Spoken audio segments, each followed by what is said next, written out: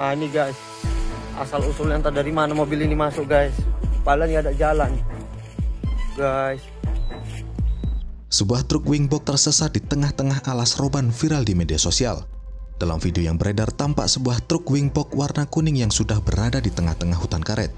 Padahal di lokasi kejadian tidak ada jalan yang bisa dilalui oleh kendaraan roda 4. Sedangkan jarak antara pohon karet satu sama lain juga terlihat rapat, sehingga sedikit mustahil untuk dilewati oleh kendaraan besar. Sang sopir merekam video pun merasa aneh dengan kejadian yang ia alami. Perekam lalu memperlihatkan kondisi sekitar yang penuh dengan tanaman karet. Kondisi sekitar juga sangat sepi dan tidak ada penampakan perkampungan atau jalan besar. Dilansir dari sejumlah sumber, insiden ini direkam pada Minggu 25 Juni 2023. Namun sampai berita ini ditulis, belum diketahui pasti kronologi dari kejadian tersebut. nah ini guys, asal usulnya entah dari mana mobil ini masuk guys. Padahal ini ada jalan.